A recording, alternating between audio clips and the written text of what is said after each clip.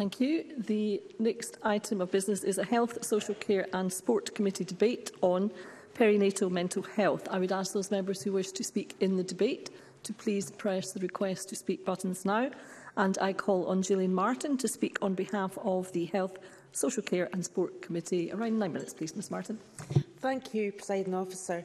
As convener of the Health, Social Care and Sport Committee, I am very pleased to open the debate and to speak about the committee's inquiry into perinatal mental health. Throughout our inquiry, and even before it started, we heard from women, partners, grandparents, friends and healthcare professionals who were seeking support for their loved ones or women in their care with perinatal mental health issues. And before I talk about our findings, I'd like to take this opportunity to thank everyone who's been in touch with the committee I'd like to thank all the individuals, organisations and professionals who responded to our call for views. But we're particularly grateful to the families who shared their individual experiences with us in informal sessions and to the organisations Aberlour, Fife Gingerbread, Homestart Scotland and Mind Mosaic who supported them to do so. And I want to thank those mums and dads for their open, openness and honesty.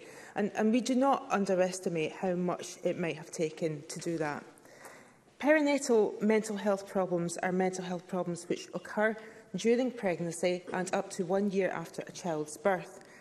Attention to them is vitally important, not only because of the effect on a mother's health, but also because they can affect a child's emotional, mental and physical development and have a great wider family impact.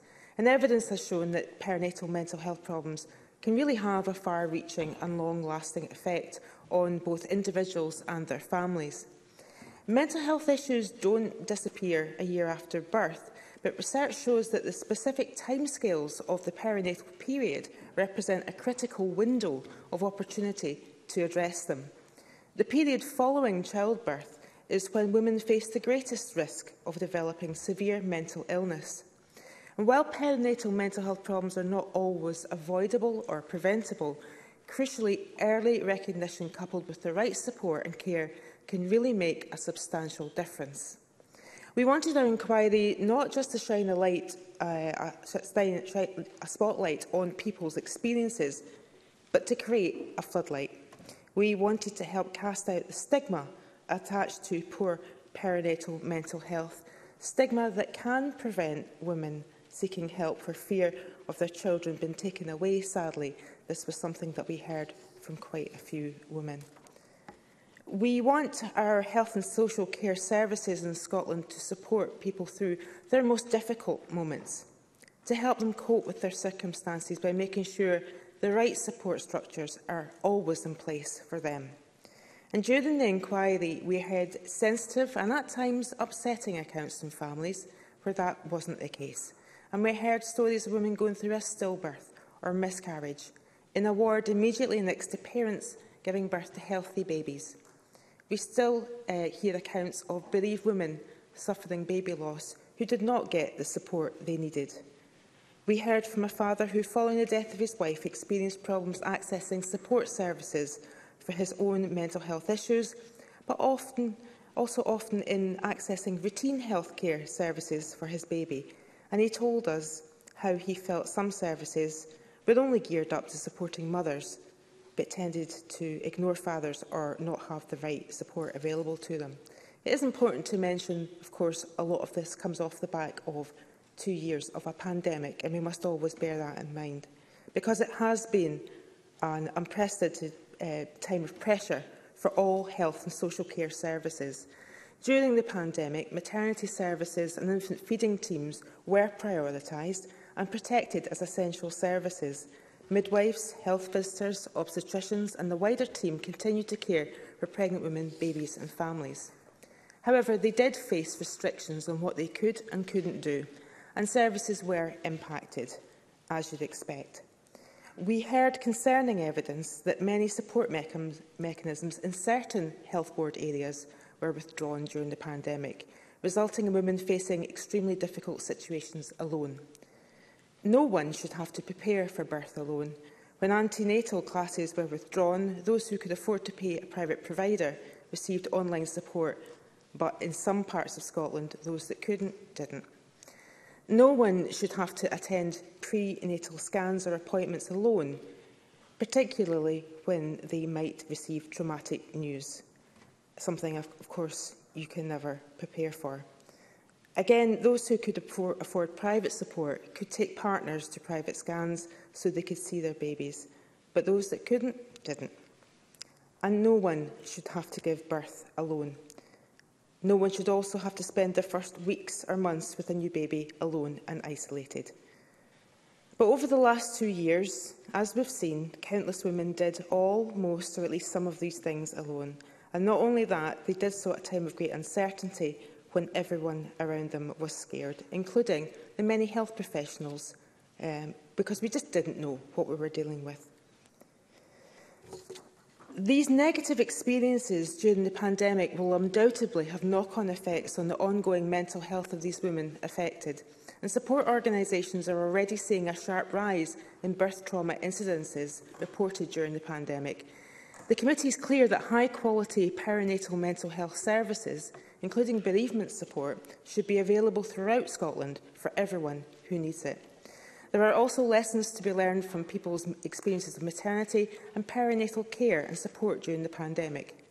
And while the pandemic, as I've said, has had a direct impact on the provision of perinatal mental health services, some issues do predate the pandemic and have been further exacerbated by it. But as a positive legacy from the pandemic, perhaps we can embrace this opportunity to resolve any longer term issues and ensure suitable support services are in place for future families and babies. The committee's report highlights several areas for improvement and action. We would like to see equitable access to mother and baby units for new mothers with complex needs and consistent access to specialist community perinatal mental health services for all mothers who need it, regardless of where they live in Scotland. We'd like to see a service specification for perinatal mental health services as a mechanism for delivering better, more joined-up care. Tackling poor, poor mental health is a major public health challenge in Scotland and beyond, and it's a priority for the Scottish Government, and we'd like to make sure there's continuity of perinatal mental health support through adult mental health services when those affected leave the specific, specified perinatal period. Having a well-trained and appropriately supported workforce is equally crucial to ensure individuals get the support they need. And through our inquiry, we heard of staff shortages, lack of time for staff to help women prepare for birth or to support them afterwards. And we heard there's a need to improve and increase the training available for healthcare professionals, particularly midwives and health visitors on key areas such as specific mental health conditions that can impact on perinatal mental health, early detection of mental ill health and support for breastfeeding, birth trauma and bereavement. And that's both in the undergraduate, postgraduate educational settings and in continuous professional development in health boards. As a committee, we welcome the Scottish Government's commitment to introduce specialist baby loss units for parents who are going through miscarriage and stillbirth, but we'd like to see new units established with a, mat a matter of urgency. In the interim, we'd like to see women consistently treated with respect and compassion in a trauma-informed way in an area separate from maternity wards. And as standard practice, every bereaved parent should be met by a specialist bereavement midwife when they arrive at hospital. I briefly touched on some areas of economic equality that arose because of the pandemic. However, during the inquiry, we were also very aware of other barriers to care and support for some women and families, particularly those in vulnerable groups. As already highlighted, we desperately need to address the issue of stigma around perinatal mental health to make sure new mothers have the confidence to get help and support they need. And I'm grateful for the Minister for Mental Wellbeing, Social Care and to the Minister for Public Health, Women's Health and Sport for their joint resp response to the committee's report received yesterday From the response, we note the Scottish Government's commitment to engaging with women and families to inform services and improve care and support, and we look forward to hearing further updates and development of perinatal mental health service specification, regional provision and the options appraisal for mother and baby unit capacity. I look forward to hearing all further contrib contributions in this debate and again thank the mothers and fathers who helped us in our work and we hope that if they're watching this today they feel our recommendations have reflected their experiences. Presiding Officer. Thank you. And I now call on Kevin Stewart, Minister, on behalf of the Scottish Government. Around seven minutes, please. Uh, thank you very much, Presiding Officer. Uh, and I'm pleased to be able to respond to this debate on behalf of the Scottish Government. I'd like to start by thanking the convener and the members of the Health and Social Care and Sport Committee uh, for raising much-needed awareness of perinatal mental health through this inquiry. And I'd like to pay particular thanks uh, to all of those who made the efforts to contribute through the consultation and evidence sessions. And as I acknowledged during my evidence session, the importance of perinatal mental health right now within Scotland has been demonstrated by the impressive range of responses and engagement from professionals, organisations and individuals with lived experience. This inquiry has opened the door further to conversations about mental well-being, both during the perinatal period and wider. In doing so, it helps us to further reduce stigma and actively promote awareness. And it also helps us ensure our work is aligned to the core values of the Women and Families Maternal Health Pledge. This is especially important at the present time as we acknowledge the impact that the pandemic has had on the mental health of new and expecting parents. Since 2019, uh, the Programme Board has provided strategic oversight of significant investment across community perinatal mental health services, uh, the third sector, mother and baby units, infant mental health services and maternity and neonatal psychological interventions. Currently, over £16 million has been invested across Scotland, resulting in 10 boards now uh, having specialist community perinatal mental health teams and eight who have maternity and neonatal psychological intervention services. Uh, and we continue to work with boards on developing services further on a local and regional basis to ensure specialist support is available across all areas of Scotland by March of next year. In relation to the third sector, uh, we have delivered over £1.8 million of funding. Uh, and this has led to support being delivered to over 3,000 parents, expected, expectant parents and infants. An emerging evaluation shows that the funded work has contributed to parents feeling less isolated and better able to meet the needs of their infants and children. The programme program board itself will also continue in, to ensure that lived experience is at the very heart of service development, implementation and ongoing provision. Uh, and we now have two dedicated participation officers who offer support focused around perinatal mental health, infants, fathers and equalities. And this helps us ensure that the significant upscaling of existing services and creation of new services is led by the needs of women and families.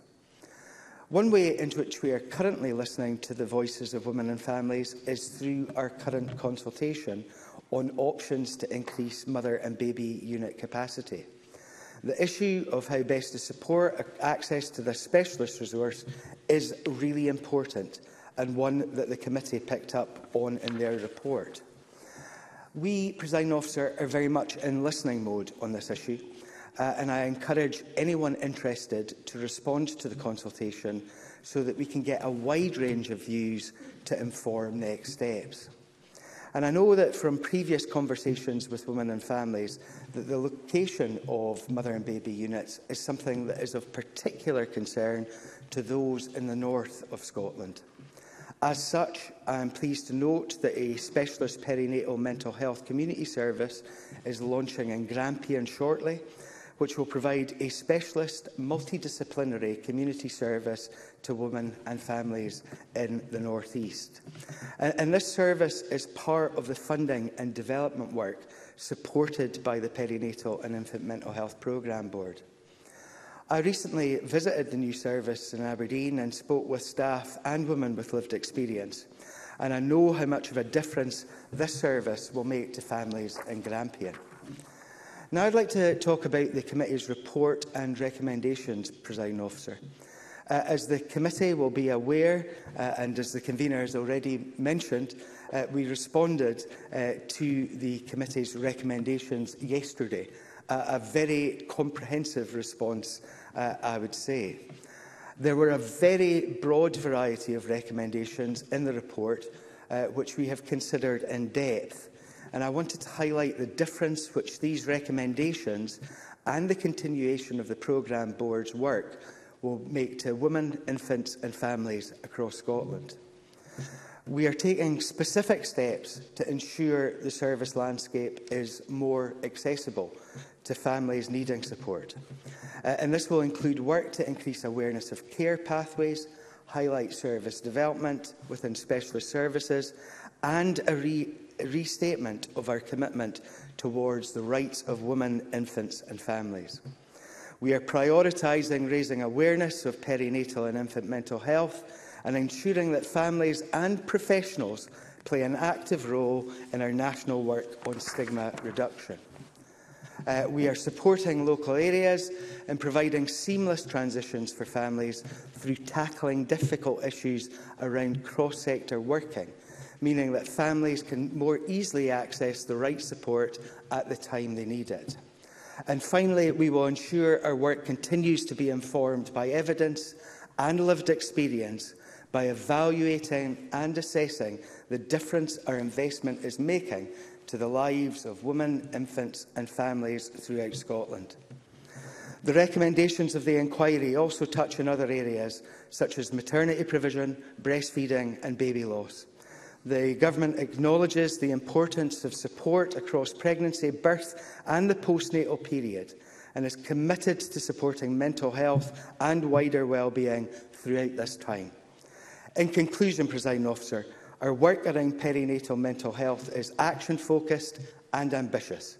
We are committed to ensuring that the input to the committee's inquiry, alongside the findings and recommendations which followed it, are respected and valued as they further support and inform our continuing programme of work. Thank you, Presiding Officer. Thank you. And I now call on Sandesh Gohani, who is joining us remotely on behalf of the Scottish Conservatives Around seven minutes, please, Dr Gohani.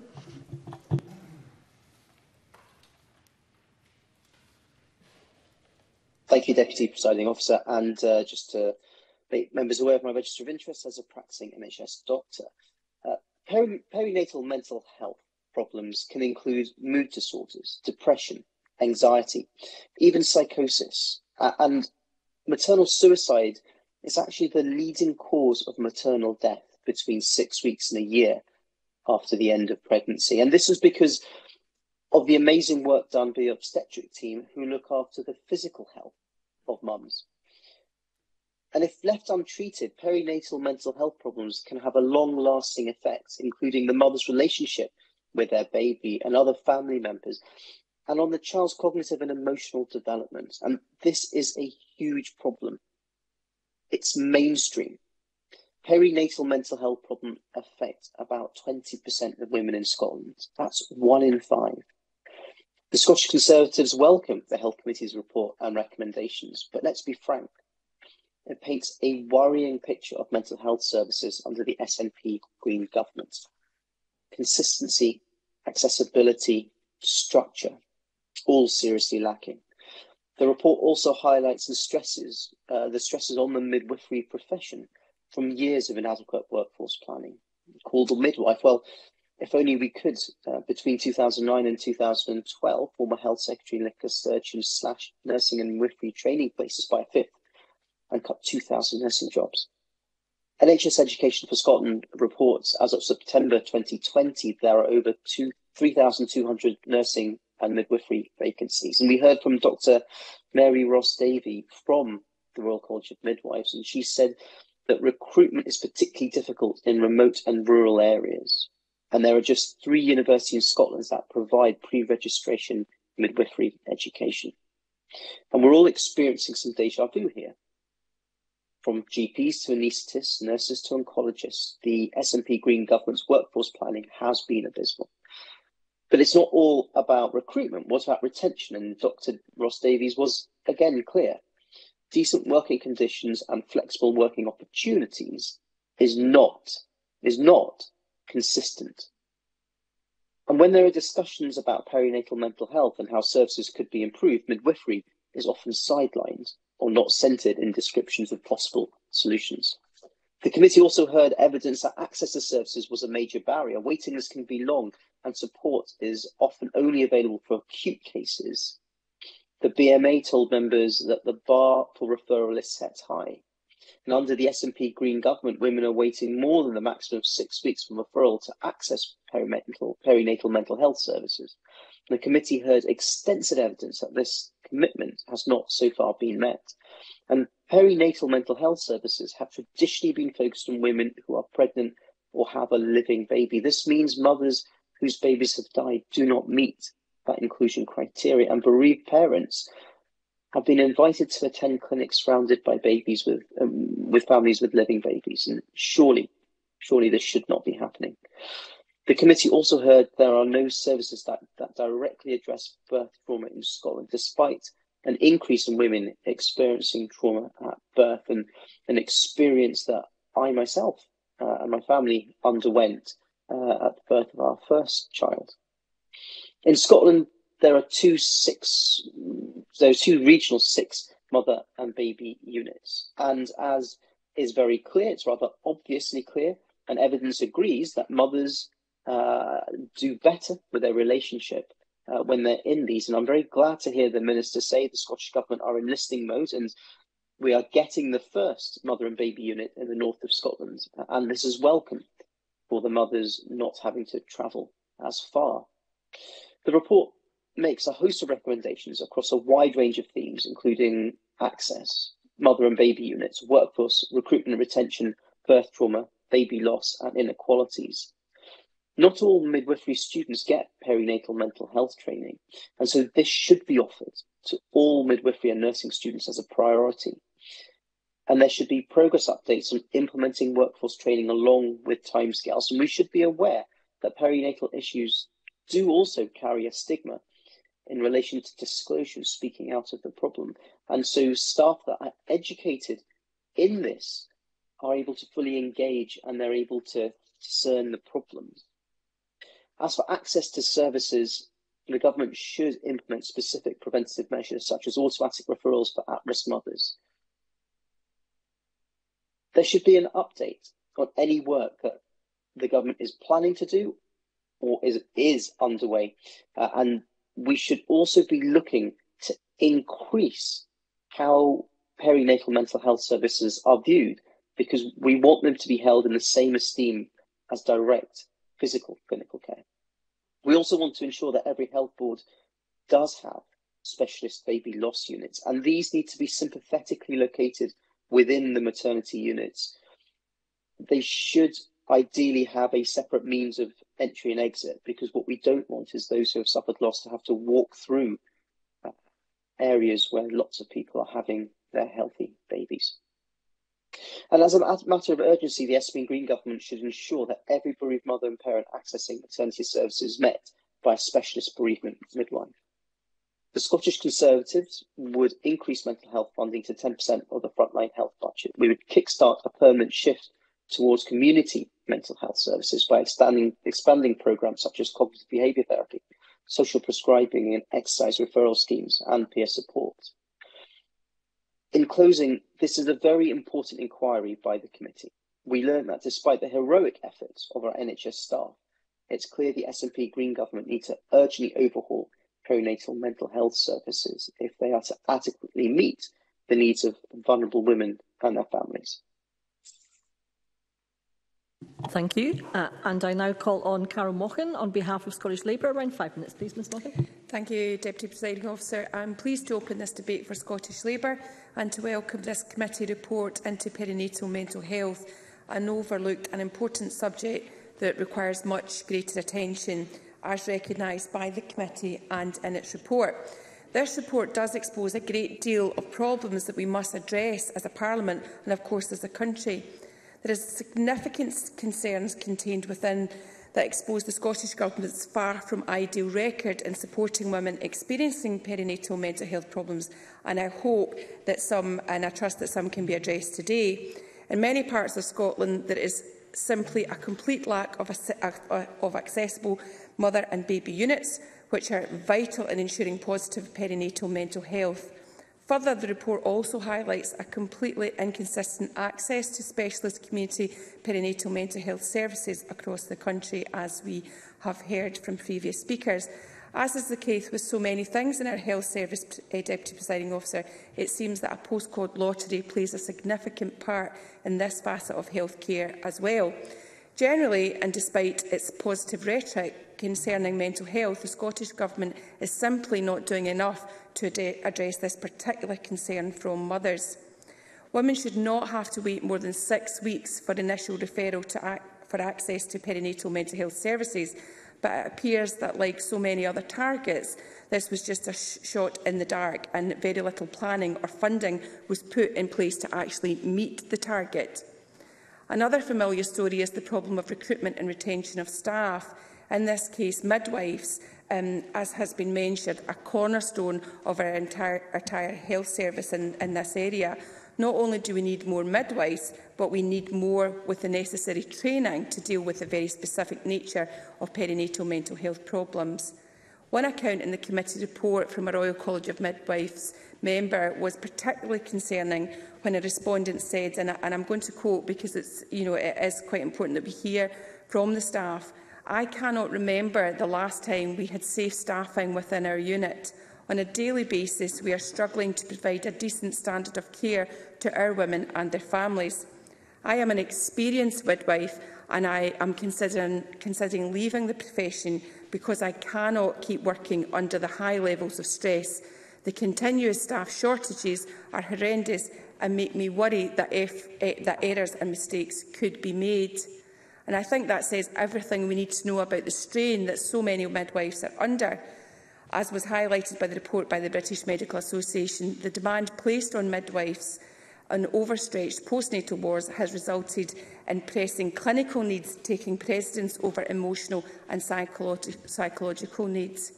If we cannot properly fund, train and retain more midwives with the necessary skills, this problem will continue and hard-working staff will continue to consider leaving the profession. In closing, presiding officer, Scottish Labour has real and genuine concerns regarding the Scottish Government's ability to meet basic waiting time targets and to recruit, train and retain adequate levels of staffing. This was demonstrated by recent stats showing that there are over 6,600 whole-time equivalent nursing and midwifery vacancies across Scotland and, of course, 128 were in midwifery. For such an important role, this is very concerning and we must tackle the number of vacancies in midwifery. To address this, Scottish Labour are calling on the Scottish Government to update Parliament on its progress in implementing the 28 recommendations from the report Delivering Effective Services, Needs Assessment and Service Recommendations for Specialist and Universal Perinatal Mental Health Services, which was published back in 2019, but we have not heard a lot since that time. In the short ter term, eh, In the short term, my party believes that we must provide specific support to women experiencing postnatal depression within a much wider increase in mental health spending. We need to improve breastfeeding support by providing a home visit for breastfeeding support work, work within the first week a baby spends at home and carrying out further consultation to ensure women's needs are met. And also we should launch a Babies Meet Babies programme to promote socialisation and interaction by bringing together parents and carers of babies. These are effective and important steps that could be taken relatively soon that will immediately have an impact on of the future improvement of perinatal mental health in Scotland. And I hope that the Scottish Government will endeavour to have a look at these ideas um, and, and address them in their response and um, in taking forward the, the core actions that the report suggests. Thank you, Deputy Presiding Officer. Thank you. And I now call on Alex Cole-Hamilton on behalf of the Scottish Liberal Democrats. Around four minutes, please, Mr Thank you very much, Deputy Presiding Officer. And can I commend the committee on their work on this vital issue? I'm very pleased to rise for my party um, to speak to this debate. Scottish Liberal Democrats were proud to be the first party in this Parliament to set out a comprehensive and dedicated strategy for improving the detection and treatment of maternal mental health.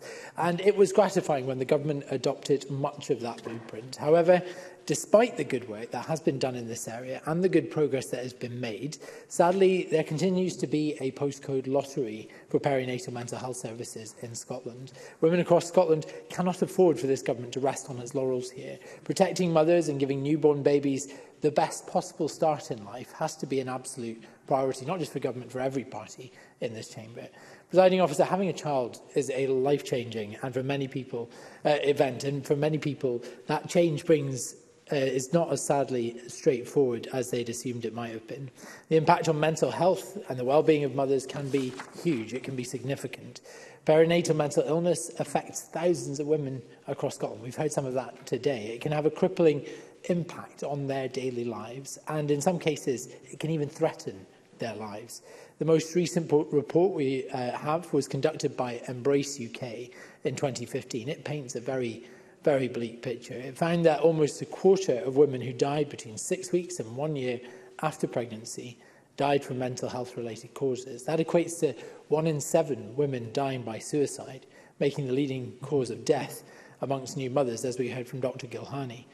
That statistic, as much as anything else, serves to illustrate the need to support these women in the most effective way possible and the necessity for that has only increased in recent years as a result of isolation that mothers had to deal with, both in pregnancy and then immediately after childbirth in the pandemic. Many more have suffered, and I have raised this several times with the First Minister, particularly around the coffee mornings I had, um, the virtual coffee mornings I had with isolated new mums.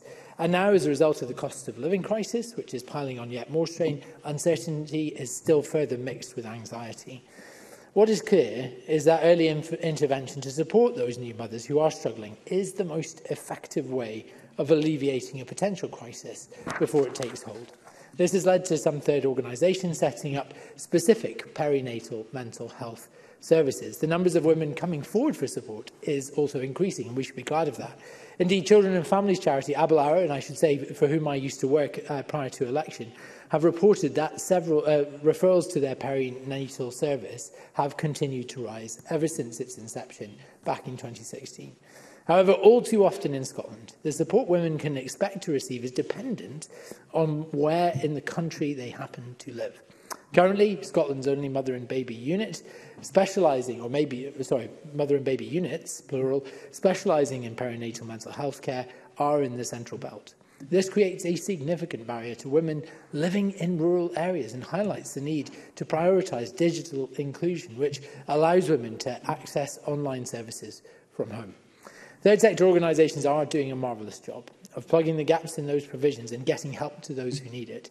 But they need to know they will have access to adequate funding for the long term. There must not be a danger of them having to cease this brilliant support that they are providing due to lack of core cost recovery. It's also important to note the impact of perinatal uh, mental illness on babies themselves and subsequently older children when illness is not addressed early on. Indeed, evidence has shown the devastating effect poor uh, maternal mental health can have on ch children's behaviour, their development, their ability to learn and grow in order to achieve their full potential. The stakes here are really high.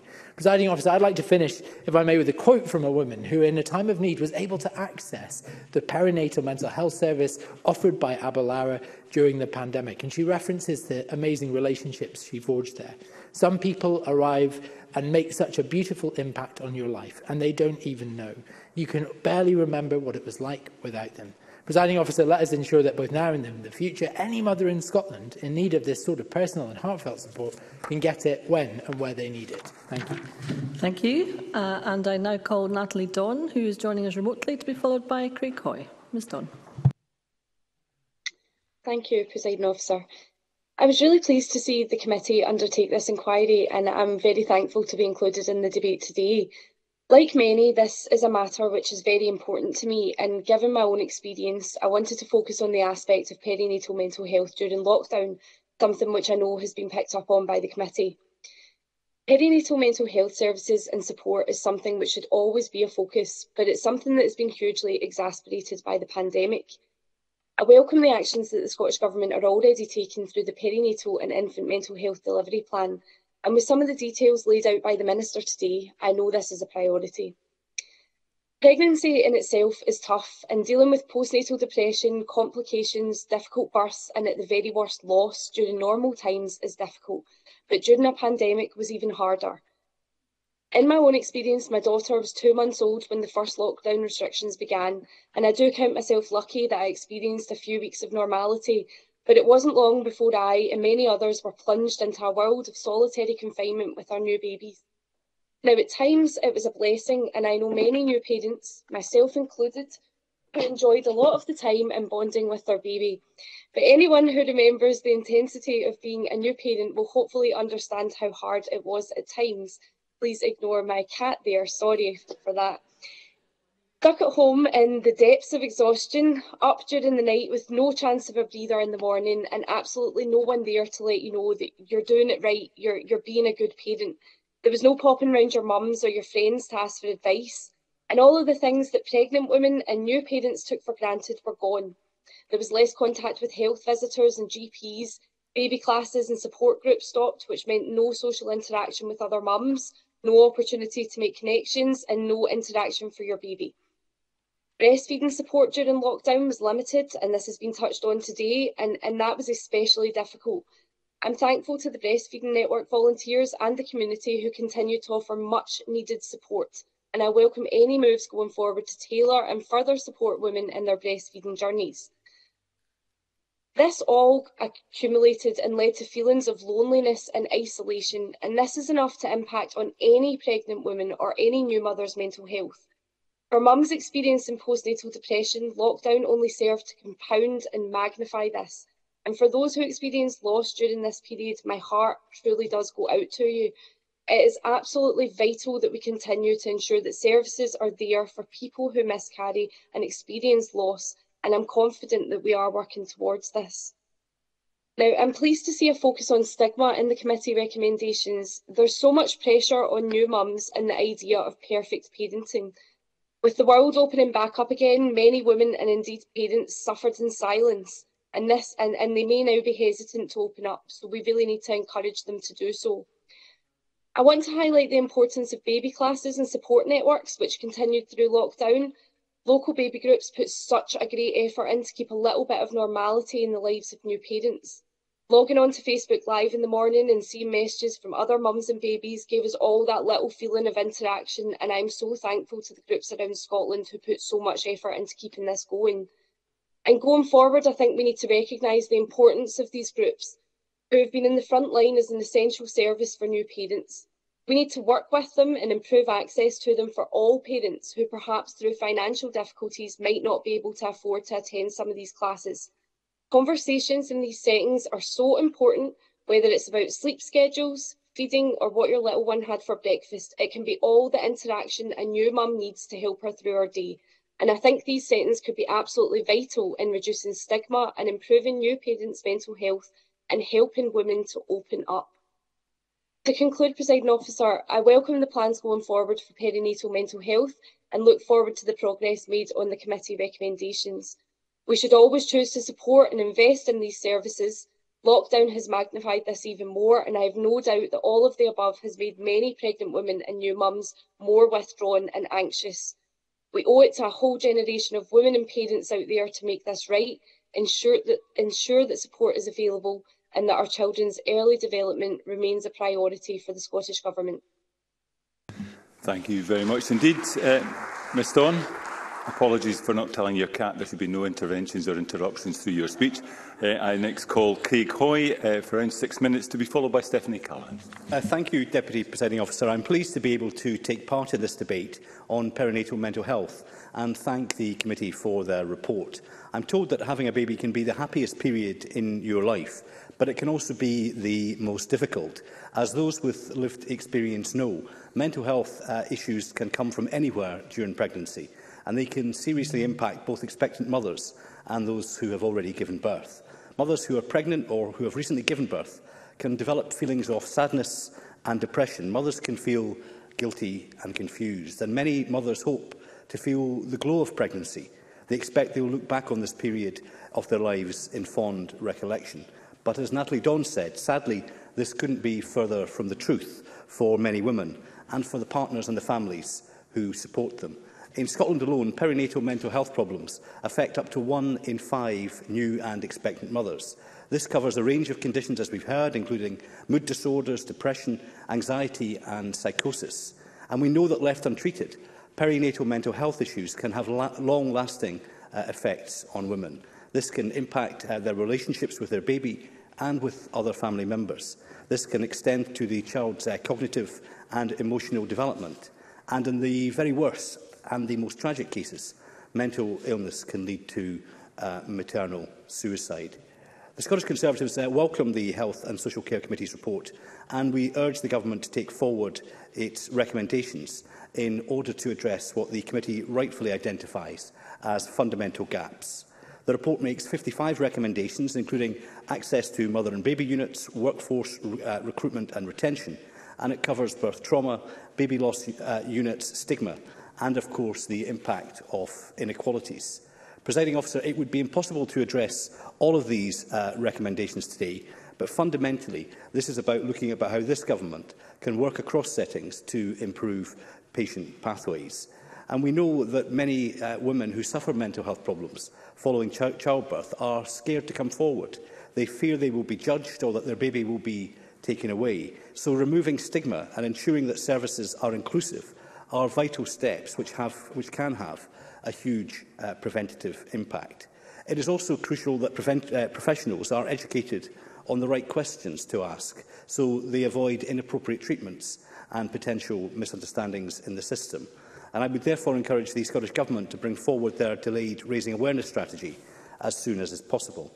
Presenting officer, I'm also concerned that once again this report highlights systemic and endemic issues uh, involving recruitment and retention. And when we talk of problems in our NHS, this is the dead end that sadly we repeatedly come to. Ministers must act now to break this roadblock, to boost training and understanding of mental health within midwifery. In their briefing, the Royal College of Midwives Scotland agrees with the committee that an, appropriate, an appropriately trained and supported workforce is vital to delivering the care that women need. And as the committee notes in its recommendations, it is not simply a matter of training and supporting existing staff. We also need to ensure that there are more staff and, by that logic, fewer vacancies in the system. The RCM supports the recommendation that perinatal mental health training is incorporated into training for all midwifery students because staff need to be empowered to engage in continuing professional development and also to make sure they do so uh, with no negative impact on the delivery of patient care. The pandemic has had a profound impact on all our lives and it has pushed many mental health services and support to an online environment. And COVID has led, as we have heard, to negative experiences, uh, as uh, Gillian Martin uh, rightly identified. So the reduction in face-to-face -face contact we know has negatively impacted uh, the mental health of expecting and new mothers. We know that not everyone is able to access online resources and that a lack of infrastructure and capacity can prevent some mothers from connecting digitally. The committee heard evidence that some individuals have also been unable to access GP appointments and that's why the Scottish Government must take urgent action to ensure that alternative routes are available for referrals into perinatal mental health services. And I welcome the fact that the Minister says he is in listening mode. But on this, as in so much else, I hope that he can get into action mode uh, quickly. Um, understanding uh, the issues uh, are complex, but fundamentally, one statistic stands out, that under the SNP, women are waiting more than the maximum of six weeks for referral to access services. Mothers seeking support can often encounter a postcode lottery, with inconsistencies in the, in the accessibility of mother and baby units, as we've heard, across different NHS board areas. And there are real fears. I, I will give way. Mr Kevin Steele. Um, I thank Mr Hoy for giving way um, and the Delivering Effective Services report uh, which Ms Mohan mentioned in her speech um, highlighted some of the issues that had to be tackled. Since that report um, was published in 2019, uh, which uh, two, three years ago, two of which have been pandemic, we've increased the amount of specialist perinatal services in Scotland from four to ten Progress has been made during the course of the pandemic and we will continue to make progress as we move forward. Craig Hoy. I welcome progress. It's the speed of the progress I, I, I question, and I accept that the Minister announced today, for example, that he would be opening, uh, uh that there will be a, mother and baby unit um, for Grampian, but demands for that have been uh, on the record for quite some time. So again, Minister, it's the pace of progress, not the desire uh, for progress that is being uh, questioned. Before I close, uh, Deputy Presiding Officer, I'd like to touch on the uh, very sad and upsetting issue of uh, baby loss. Miscarriage, uh, stillbirth, the death, the death of an infant scars the lives of many families. And my colleague Jeremy Balfour, the MSP for Lothian Region, has previously spoken openly and movingly about this in the Chamber. And he talked of the uh, importance of support, particularly from those who understand the pain involved. And the committee's quite, uh, report quite rightly calls out the important work carried out by the third sector, including charities such as SANS, which provide quick, uh, tailored access to support. So I would strongly encourage the SNP government to ensure that the third, the third sector organisations are afforded greater financial security uh, moving forward so that they can tackle uh, the long-term funding issues that they face. Despite the heroic efforts of NHS staff, it is clear that the SNP must act urgently to overhaul perinatal mental health services in Scotland particularly uh, for those facing uh, complex um, needs. And yes, the Minister is listening,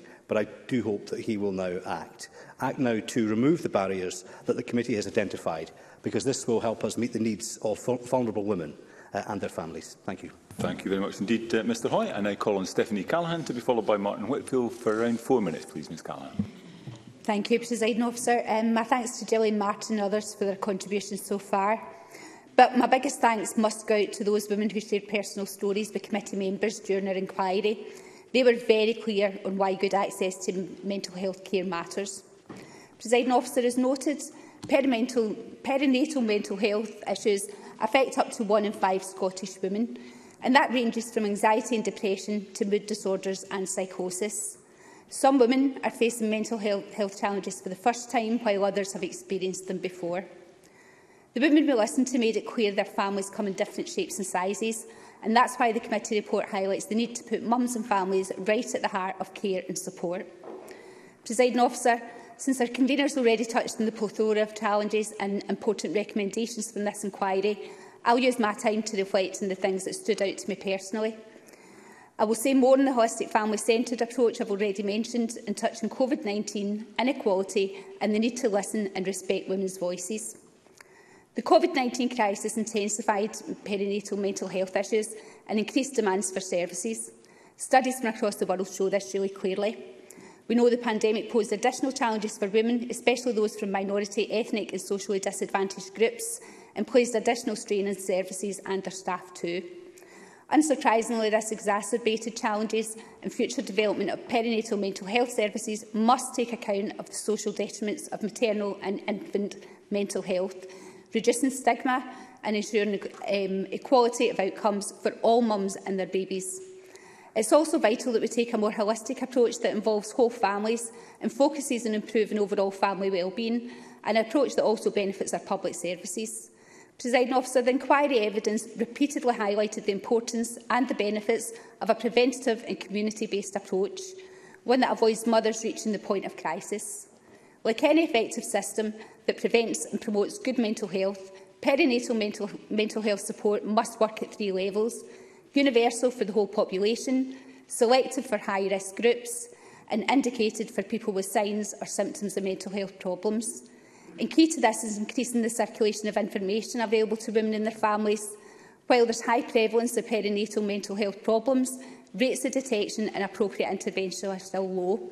And I was quite shocked that postnatal depression and depression during pregnancy is thought to go undetected in as many as one in two women, and that women with pre-existing mental health issues are not being identified at that first point of contact.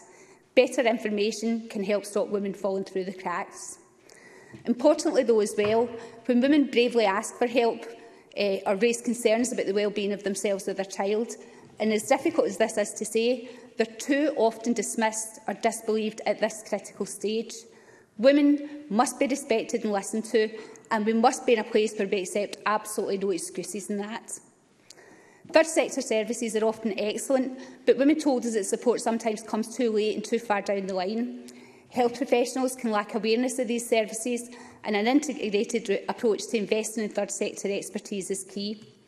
On that note, I really do welcome the Scottish Government's significant funding of £16 million in perinatal and infant mental health since March 2019 and the funding for all NHS boards towards specialist community perinatal mental health services. With over £4 million invested in 2021 22 that's especially welcome. In closing, presiding officer, detection and prevention are the key to supporting women during this critical stage of their lives, and we need to equality-proof the delivery of perinatal services. Quick and easy access to perinatal mental health support must be available to every woman in need. We must stand with them and we must keep on listening. Thank you.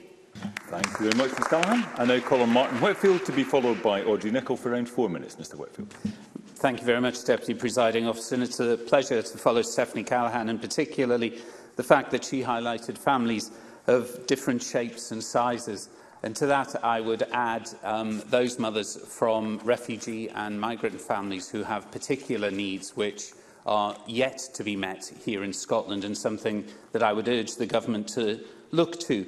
But with regard to this report, can I, as others have done um, today, welcome uh, the recommendations that are contained herein? They are timely, they are important, and we must see their rollout accelerated. The recruitment crisis that exists within the NHS is often talked about in here, but overshadows also the great work that individual NHS staff, not just medical but across the board, do. And with regard to perinatal mental health, the work that so many people that surround the nurses and midwives that they do is so important.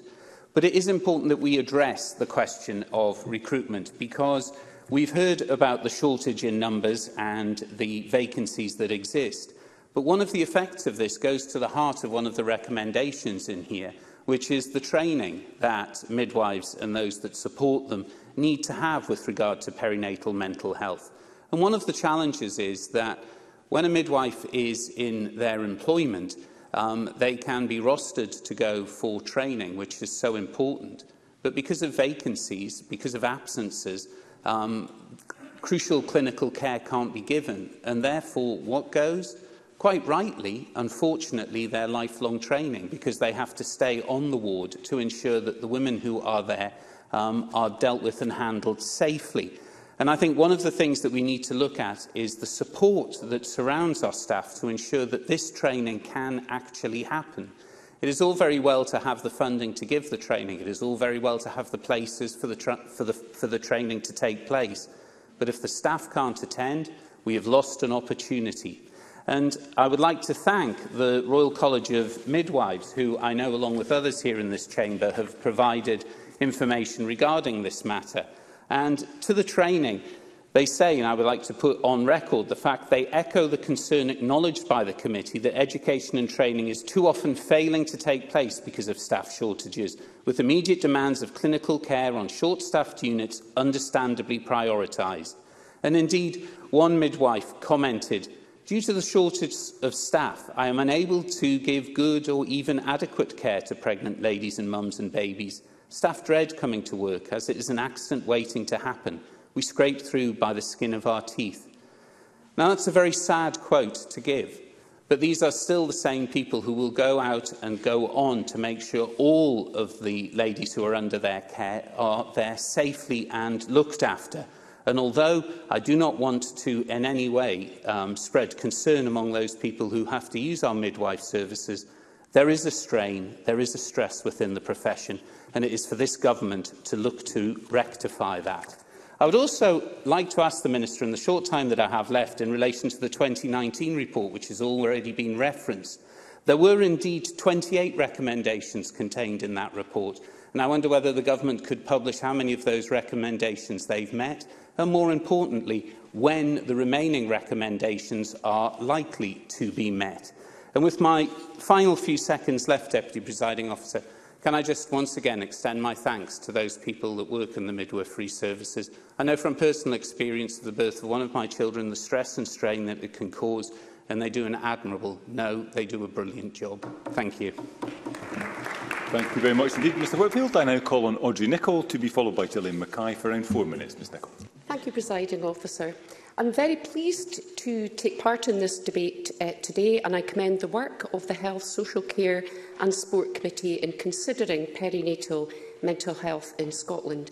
I thank the Royal College of Midwives and Support in Mind Scotland for their helpful briefings and my former colleagues Fiona Gibb and Andrea Laurie for their help ahead of the debate. We've already heard contributions outlining the challenges faced by women affected by maternal mental health difficulties and the improvements required to ensure women get the support they need to ensure strong mental well-being. COVID-19 impacted us all, frightening, traumatic and life-changing. For women, before, during and after pregnancy, it's been particularly difficult.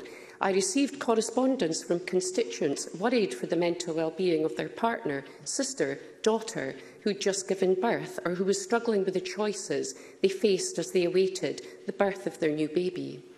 Women faced with a plethora of additional decisions weighing up the side effects of the COVID-19 vaccine with the risk of COVID-19 related illness and adverse pregnancy outcomes.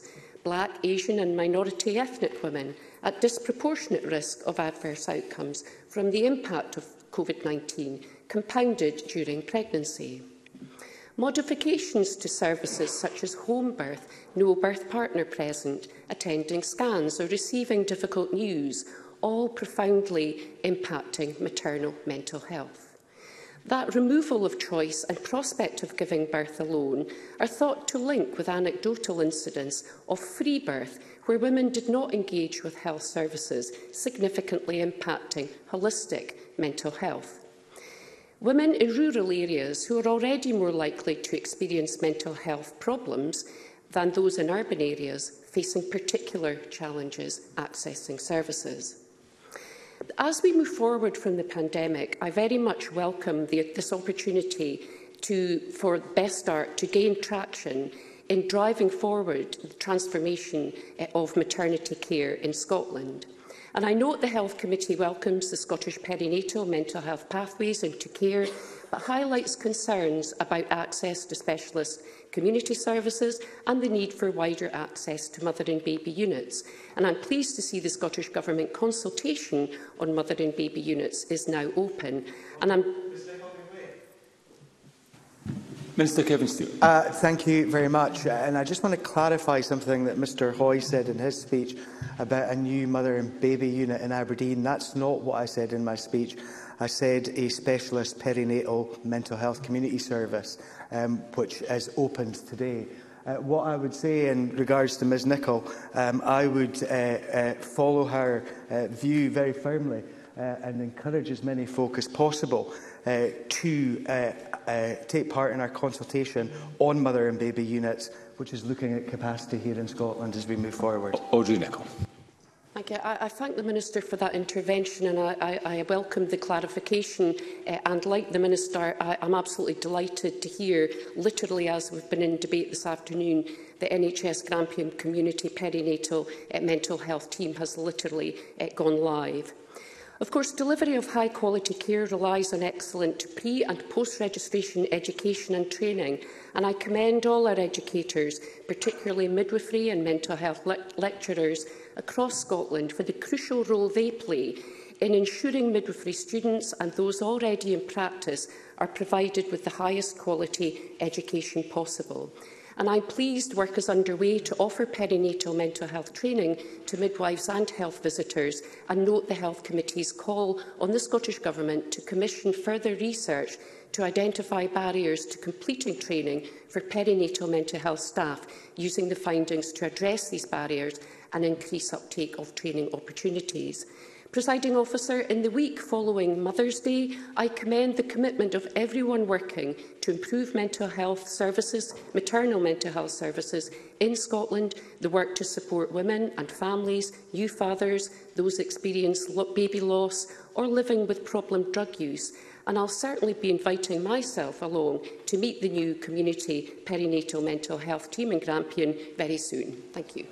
Thank you very much indeed, Ms Nicholl. I now call on Dylan Mackay to be followed by Emma Harper for around uh, four minutes, please, Ms Mackay. Thank you, Deputy Presiding Officer. I too would like to thank those who gave evidence to the committee and everyone who is working to improve perinatal mental health care across Scotland. During evidence sessions, the committee heard about the importance of proactively identifying those who are experiencing or at risk of developing perinatal mental health problems. Health professionals who are in contact with people during their pregnancy journey must receive the training they need to proactively identify issues.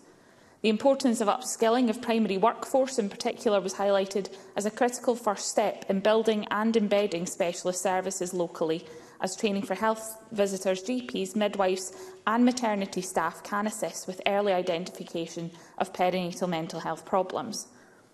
However, training is only one part of the puzzle. Healthcare staff having the capacity to do welfare checks is a major issue. It was highlighted to the committee that preventative measures should be in place during birth, but that this would require having sufficient staff on duty or staff who are, in, who are trained in how to detect early warning signs. While someone should come to see parents straight after the birth to check how they're doing, this is not always happening at the moment. Six-week check-ups by GPs have also not been happening during the pandemic due to, due to the incredible pressure being placed on practices. When checks do happen, they tend to focus on the baby's welfare alone. Some report that while pregnant, they are, there is a lot of concern for their well-being, but that as soon as they've given birth, the focus shifts entirely to their baby. We need to ensure that parents are supported throughout the process and that help is not suddenly withdrawn after birth, and part of that is about ensuring staff, including GPs, midwives and health visitors, have the time and training to proactively check for mental health issues.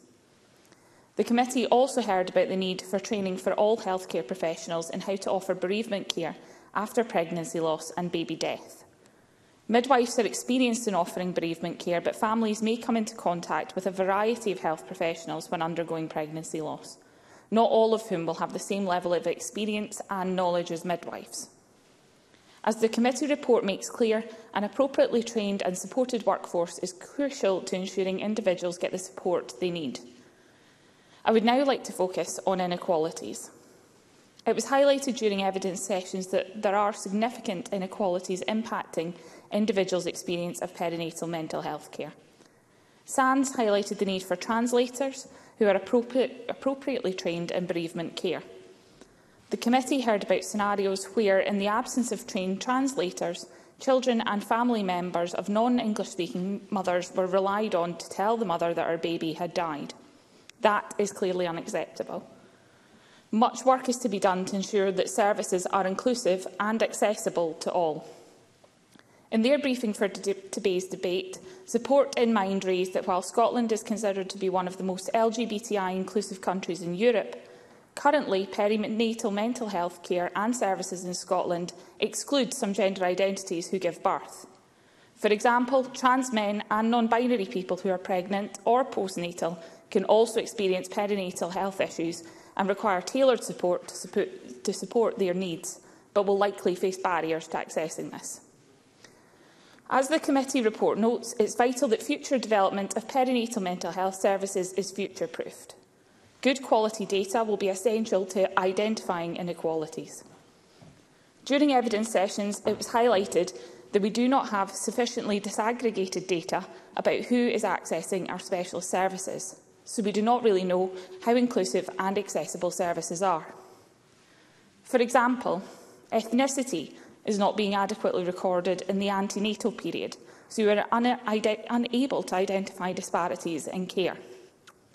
This is extremely concerning, given that we know from MBRRACE UK report that black women are almost four times more likely to die in childbirth or in the postnatal period. Data collection must be improved if we are to address inequalities and ensure care is truly person-centred. And I'd like to conclude, presiding officer, by thanking those again who gave evidence to the committee.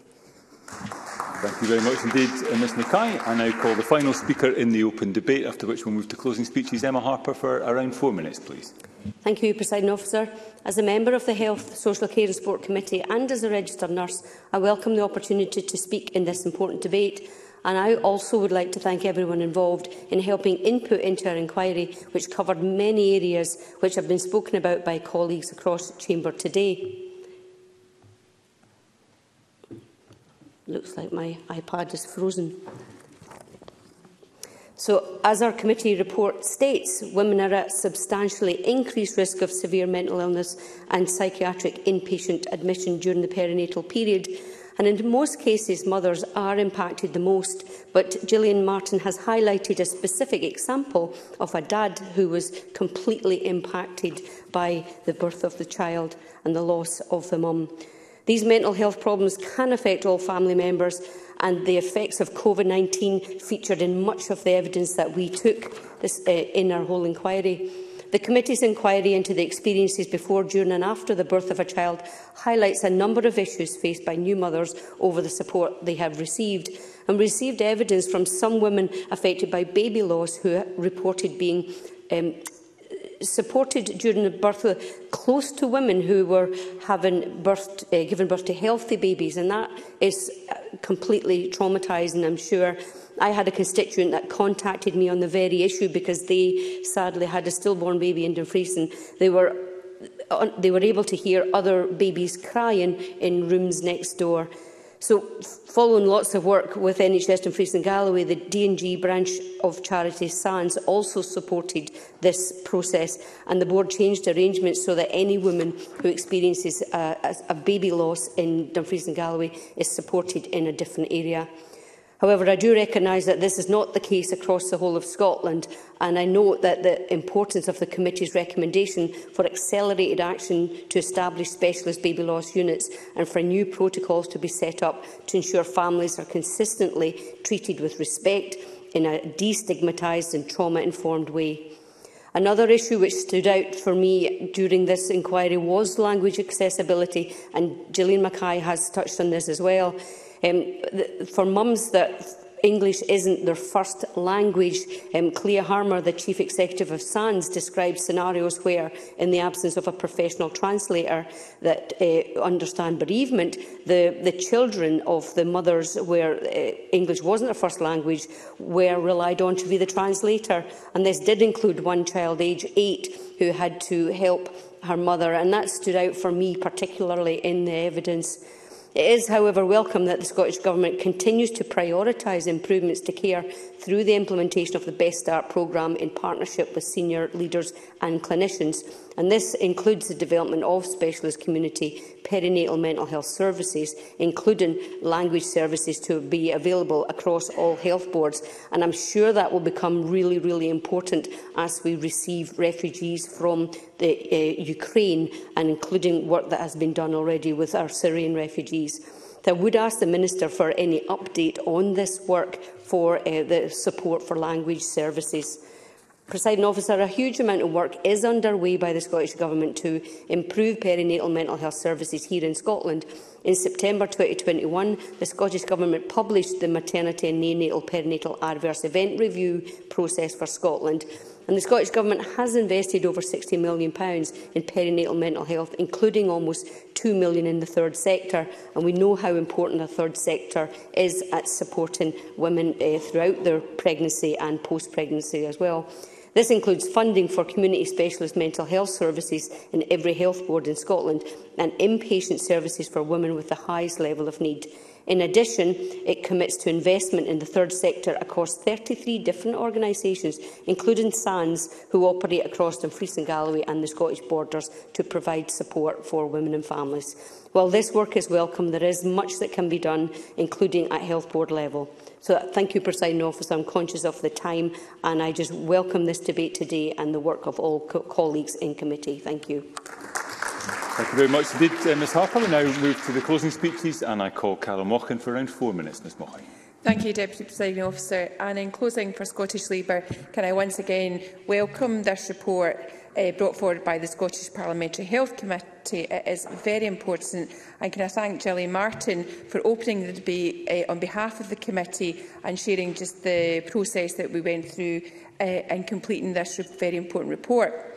Quite simply, I am glad that the report recognises the Scottish Government have not done enough to support women experiencing perinatal mental health problems.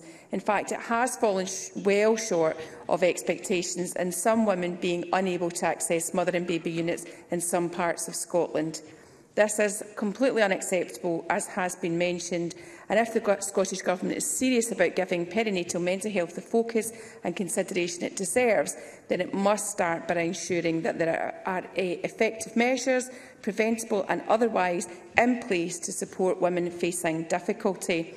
and I am sure, like others, we have all welcomed Kevin Stewart in his listening mode, but I would very much like to see him in action mode, and I think this is what will be needed to meet the challenges ahead because unfortunately, unfortunately due to the mismanagement of...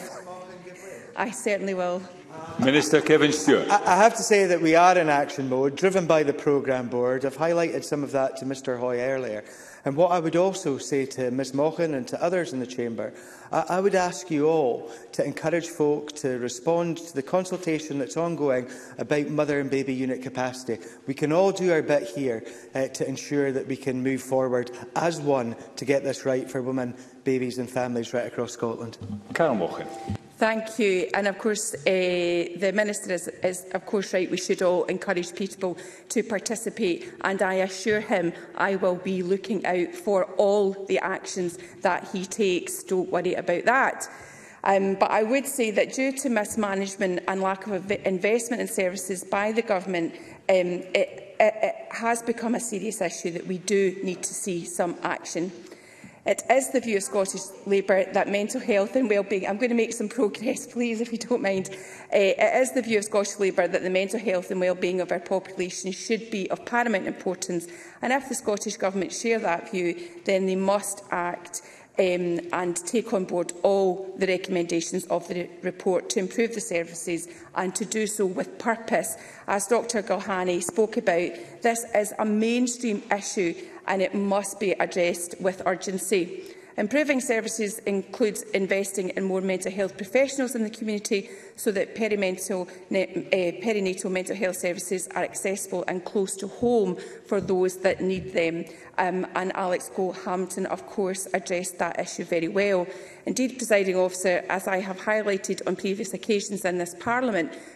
poor mental health and well-being is more likely to be impacted uh, for those in Scotland from the most deprived areas. And according to the Scottish Government's own perinatal and infant mental health equality impact assessment report, report, and I quote, this is true for perinatal mental health illness too, with higher levels of deprivation correlating with higher prevalence of poor mental, uh, perinatal mental health. Um, and so this clear, highlights very clearly that the delivery and accessibility of services close to home is pivotal um, for, for everyone, but in particular it, it amplifies that in those areas most in need to ensure that no woman is disadvantaged or misses out on services due to their postcode or their income. Moreover, presiding officer, I must reiterate the attention placed by this report on the importance of ensuring consistent NHS recruitment and retention of midwives, has, which has been mentioned many times, with the necessary training uh, to meet the needs of women suffering from perinatal mental health problems Too many midwives, nurses and other health professionals feel overworked, underpaid, undervalued and undertrained in this particular area. They feel, feel this way because of the stress put on them in the workplace and I feel the lack of action from this government at many points. Deputy Presiding Officer, eh, I say to this Government, without action, the numbers leaving the profession will increase and we must do more. Um, and I look forward to a response from this Government on these actions. Thank you. Thank you very much indeed, Ms Pocken. And I call on Sue Webber uh, for around six minutes, please, Ms Webber. Uh, thank you, Deputy Presiding Officer. And yes, this short inquiry was of great personal significance to me, and it was a pleasure to take part in that. In particular, I'm really grateful that our inquiry accounted for the impact of baby loss, often a taboo subject, not spoken about until it affects us personally or those closest to us. When it does happen, It's absolutely devastating and your world falls apart. And this is for my friends around me that have all experienced that pain. I want to thank all of the women who took part in the evidence sessions and the fathers that took part too. And Gillian Martin specifically outlined the plight of that one father who had such tragic um, difficulties accessing services for their child. Their experiences that they shared with us regularly brought us to tears. I felt their pain, their frustration, their exasperation and the sheer sense of loss as they fought to access services for themselves, their families, partners and wee babies. And I was pleased that the Minister acknowledged that this uh, in, um, inquiry raised very much needed awareness of perinatal mental health. On the Scottish Conservative side of the Chamber, we welcome the committee's report in full and urged the SNP Government to take forward its recommendations in full. The report's recommendations cross a wide range of themes, including in relation to the accessibility of services, mother and baby units, workforce recruitment and retention, birth trauma, baby loss units and inequalities. And in particular, the report paints a deeply worrying picture of Scotland's perinatal mental health services and the perilous state after 15 years of SNP control. Uh, yes, yes. Jeremy Balfour. Uh, I, uh, uh, I'm grateful to the, the member for taking the intervention. Would you agree with me that it is the third sector that often provide that support uh, for people who have either lost a child or who have had a child but having um, some kind of mental health issues after that. And unless we get a proper funding for these third sector organisations, uh, we're going to leave families behind. Sue Webber. That is very much, uh, Mr Balfour, the evidence that we heard loud and clear, clear. I think it was the nimbleness of the third sector that provided such a lifeline to these people. Um, as the committee took evidence, it became clear that access to primary care services, community services and third sector services and specialist services are all barriers for individuals in, in need of dire support. And what does this mean? It means that support is often only available for acute cases and interventions. The BMA told us that the bar for referral is set high. And how can this be right when suicide is the leading cause of maternal deaths in the period of six weeks to a year after the end of pregnancy? I welcome the Minister's pledge that steps have been taken to ensure the service landscape is more accessible. Yet services are not just limited in their accessibility, but in their consistency and structures too. And Mr Cole Hamilton spoke of the postcode lottery of services that our families face across the country. And please, let's not sit here today and use the pandemic as justification. While the pandemic may have deepened the crisis, it has also acted as a monumental volcanic fissure, exposing the sheer scale of the problem, the underinvestment, the lack of planning and lack of focus, and these issues long predated March 2020. In particular, the report highlights the stresses placed on the midwifery profession by years of inadequate workforce planning under this SNP government. And under the SNP government, workforce planning always appears to take a back seat. And as things stand, there is a current and long-standing shortfall of midwives in Scotland. And take this from a midwife responding to a recent survey from the Royal College of Midwives, and I think it was mentioned by Carol Mockin also. I cannot remember the last time we had safe staffing within our unit. On a daily basis, we are struggling to provide a decent standard of care to our women and their families. But staff shortages are not just impacting on recruitment and retention, but also on training, including on perinatal mental health, which is too often failing to take place because of staff shortages. As I alluded in my introduction, I welcome that baby loss fell within the scope of our inquiry. We need to ensure that every health board has specialist baby loss units, which should be sympathetically located.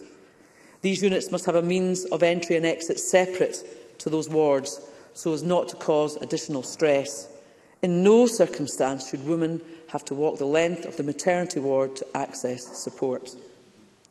And turning to the pandemic, it's without question that COVID has placed severe restrictions on pregnant women, Women have been forced to attend scans without support, forced to receive sometimes devastating news, left alone on their own to come to terms with the loss that is beyond understanding and gone through labour with no support.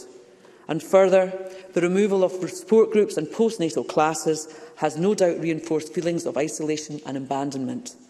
Natalie Dawn spoke earlier and shared her very real experiences of what, experience, of what she went through during pregnancy, but I congratulate her on her good use.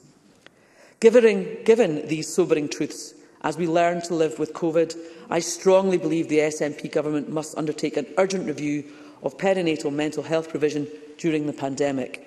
If we are to learn lessons for the future, we can only begin by reflecting on the past.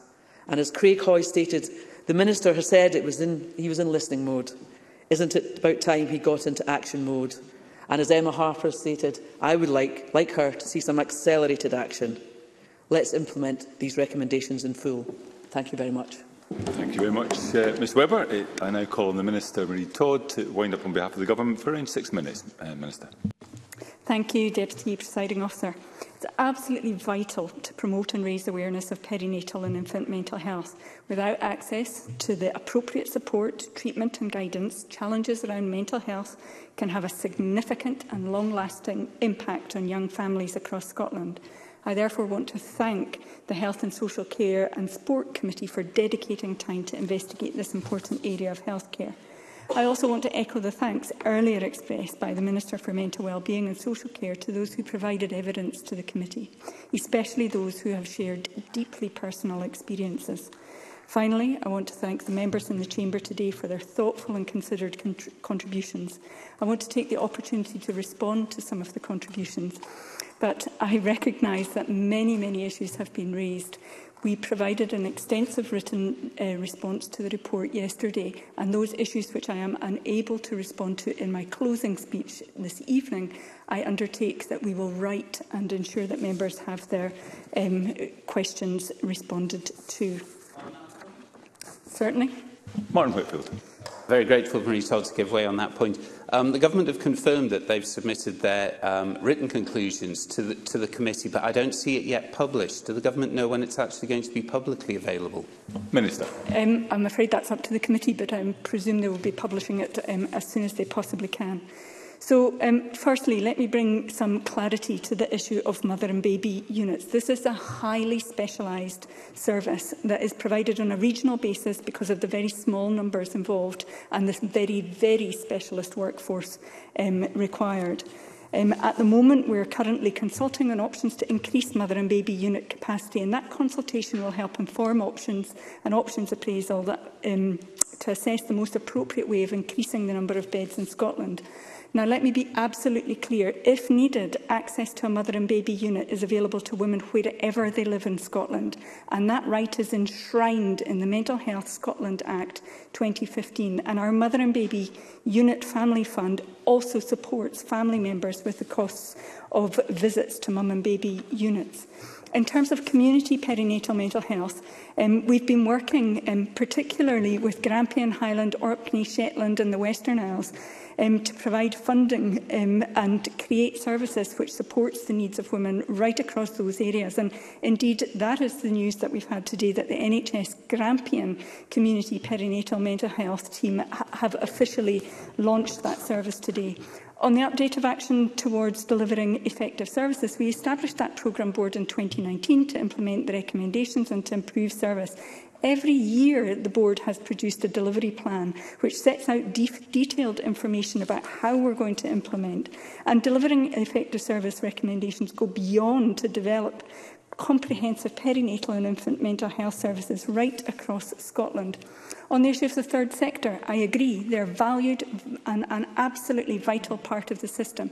That's why we provide £1 million per annum to support third sector right across a range of organisations, including £578,000, um, which has been given to baby loss charities over the last four years, £178,000 to SANS to develop the National Bereavement Care Pathways.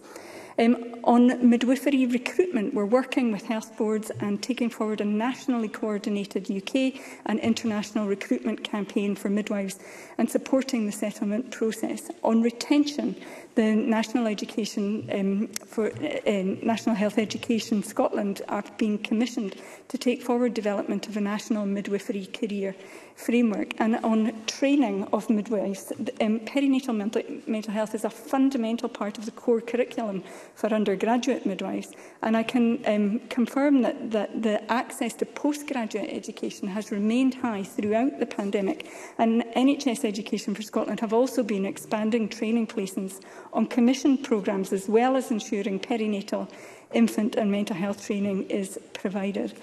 Um, bereavement care is the responsibility of absolutely everyone working in um, maternity services. It is the responsibility of all the health professionals and midwives and consultants and all of the other workforce are trained in um, bereavement care. On the question of... Um, Ah, will I get the time back? You can get the time back, Minister, yep. yes. Uh, Jeremy Balfour. Uh, I, I'm grateful to, uh, uh, to the Minister for taking a mention. Would the Minister agree with me that our goal should be that if a mother has to give birth to a child that's going to be born asleep, that that should be done in a separate part and we should be striving to get there as soon as we can for every maternity hospital in Scotland? Minister. So I, I, I'm not sure if um, the member is aware that there is a great deal of work going on on that at the moment. We've put out a survey to assess what the situation is in every maternity service right across the country to establish just what is provided and where the gaps might be. And then we will work very hard to close the, those gaps in provision. I absolutely agree that compassionate, sensitive care is vital at that difficult point of life. Um, in the on the issue of ethnicity data raised by um, Gillian Mackay, it's been such a key point throughout this pandemic, and I can um, inform the member that Public Health Scotland have now started collecting data on ethnicity, um, uh, which is linked to pregnancy. Um, I, I, I have so much more I'd like to say, but I guess I I, I can give you up to seven minutes. Okay. I will try to pack in a lot more into my final minute. Our work around perinatal mental health and wellbeing remains action-focused and ambitious, and indeed the finding and recommendations of the committee inquiry will further support and inform our continuing programme of work. Good maternity care is absolutely crucial to good perinatal mental health and we continue to make improvements to maternity and neonatal care in Scotland through the introduction of continuity of carer and maternity and also through the new model of neonatal care as part of the implementation of the Best Start programme. Since 2017 we've provided over 16 million in funding to support the implementation of the Best Start and it remains a firm programme for commi um, government commitment. We've used the COVID pause to reflect and reset the programme and to consider the direction and structures for the final phase of delivery. And part of that consideration is how remobilisation of Best Start and introduction of continuity of care specifically could be prioritised to focus on those who will benefit most. Um, I'll finish up there, but all of this work, combined with the work that has already been mentioned today, provides a solid foundation on which we can continue to deliver positive mental health outcomes for parents and for children right across Scotland. Thank you. Thank you very much, uh, Minister. And I call on Paul O'Kane uh, to wind up the debate on behalf of the Health, Social Care uh, and Sport Committee for around seven minutes. Mr O'Kane. Thank you, uh, Deputy Presiding Officer, and I'm pleased to be able to close this debate on behalf of colleagues uh, in the Health, Social Care and Sport Committee. And can I add my thanks as Deputy Convener to the team of clerks and support staff who assist committee in our work and who have supported the inquiry and the preparation of the report we are debating today. And I would also join colleagues in thanking all of those who submitted evidence uh, and all the organisations who shared their views or supported people to share their views, uh, many of which we have heard mentioned in the course of today's debate. Uh, I want to also uh, particularly thank those women and their families who gave oral evidence to the committee, as the convener, uh, Gillian Martin, has done. It was a difficult thing to do, but it was compelling and so important uh, in the uh, production of this report. Indeed, I was reflecting this morning with the convener uh, about the deeply personal nature of what was shared and how, whilst common themes emerged, each experience is different, with different supports needed at different times. Uh, and I think we've heard a, a lot of that this afternoon. Uh, indeed, that access to appropriate services uh, was often a major barrier for individuals who needed support, uh, including to primary care services, community services, uh, third sector services, specialist mental health services and specialist perinatal mental health services.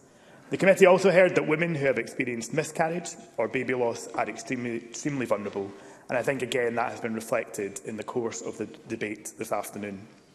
As a committee, we have sought to shine a light on an area of our health service that all too often has been somewhat forgotten, under-resourced and not always planned with the care and sensitivity required.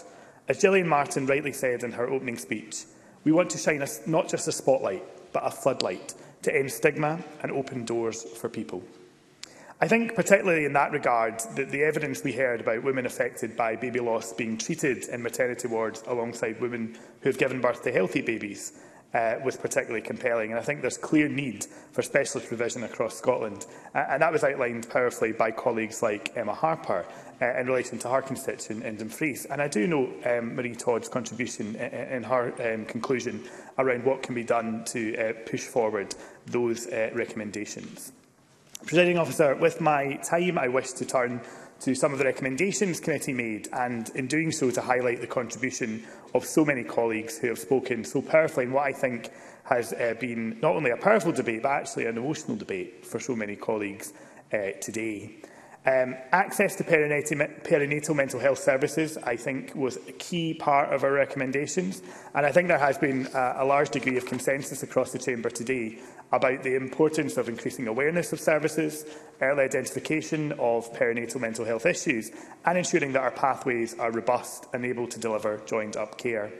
Um, I think also we've had uh, a large uh, contribution from members on mother and baby units and the importance of ensuring that provision uh, is across the country. And I, I along with colleagues, note um, the Minister Kevin Stewart's um, commitment in terms of being in listening mode, but also taking that action forward. And I think the committee would welcome that and very keen to continue um, that discussion as we move forward uh, to ensure essentially that when people need services, they are available in the communities where they live. Uh, and I think we would seek to engage certainly with the consultation that the Minister outlined uh, in his remarks. In terms of the provision of specialist community services, Um, the committee was keen to see that the Scottish Government ensure current and future funding to ensure that service provision delivers equity uh, of access to specialist community mental health services throughout Scotland. And I think Carol Mockin pointed to the gaps that do exist in specialist community services and that we need to do more in order to ensure the uh, equity of that provision. And Alex Cole-Hamilton uh, also spoke um, of the postcode lottery that sometimes exists and who's not in his place, um, but uh, and sometimes exists in terms of uh, access to those services. We had, uh, I think, a lot of strong contributions from colleagues about the work of the third sector. Uh, colleagues spoke very powerfully, I think, about the examples of what's going on with the third sector. Uh, we as a committee met organisations like Fife Gingerbread, Home Start Scotland, Aberlour, Mind Mosaic and, of course, SANS, the baby loss charity. Um, I think it is important that we continue to uh, ensure um, sustainable funding for these organisations to deliver uh, on the vital work that they do. And I note again uh, Marie Todd's statement uh, on what funding is available. But I am keen that we do continue to monitor that and to audit what funding is available across all sectors to ensure that we continue to drive forward this important work. Again, workforce formed a strong part of our recommendations as a committee. Mm uh, and colleagues rightly, I think, rose, uh, uh, raised some of the issues uh, that are currently affecting the workforce across both midwifery and nursing. Uh, I think um, certainly Sandesh Gohani, Gillian Mackay, uh, Carol Mockin and others spoke about the pressures, I think, that staff are experiencing um, the burnout that is being experienced and indeed the need for not only retention but also further recruitment. And I think Craig Hoy made a strong point about uh, ensuring that there's a balance between those two things uh, and that we continue to have people who are available to support uh, mothers when uh, they need that support. Um, I'm conscious of time, uh, presiding officer, um, and there is a lot uh, to pack in, as the Minister said, because it has been a very fulsome debate. Um, Stephanie Callaghan, I think, spoke very powerfully about the importance of listening to women and understanding that trauma can manifest itself in many different ways, uh, and we must meet people where they are. And indeed, the committee's made strong recommendations, I think, on ensuring appropriate resources um, to support staff to diagnose that trauma, developing care pathways to prevent and treat birth trauma, and providing dedicated treatment not only um, before birth but also after birth, um, and ensuring that that support is ongoing uh, in those, certainly in those early stages as well. And Martin Whitfield, I think, made an important intervention in terms of thinking about the needs of our refugee families in Scotland. And I think that's particularly pertinent for us all uh, as we meet uh, in this, this current period. Um, Sue Weber uh, spoke very powerfully about um, baby loss, and I think that's very important and obviously something that's very personal to Sue Weber and indeed to many of us in the Chamber who uh, have friends, family, relatives who have perhaps experienced that as well. Uh, Natalie Dawn, I think, spoke very powerfully about COVID-19 and about the impact of COVID-19 um, on those uh, women who were expecting children, who had children during that period. Uh, indeed, I think as a, as a mum herself, she spoke uh, very powerfully um, about the need for support and continuing those support groups uh, throughout a pandemic. And I think there are key lessons for us all to learn uh, about um, how we have reacted to the pandemic and how services have continued uh, to get back on track and back in stream. And indeed, Audrey Nicholl spoke about some of those challenges, I think, as well, in terms of isolation. So to begin to conclude, presiding officer, the committee believes that this report should act as a strong catalyst for change in this hugely important part of our health service. And we are clear that we will work with government further, we will hold them to account, we will collaborate with organisations across Scotland um, to ensure that we get this right for women, babies and families uh, across the country and to continue to ensure that that light that we spoke about at the beginning of the debate can shine and that nobody is left in the darkness. Thank you, Presiding Officer. Thank you. Uh, and that concludes the committee debate. And can I just remind all members that uh, if they participate in a debate, they should be here for the closing statements. That is the courteous way to proceed. Uh, and if I could uh, ask members uh, if they wish to change positions before the next uh, item of business, if they could do so now.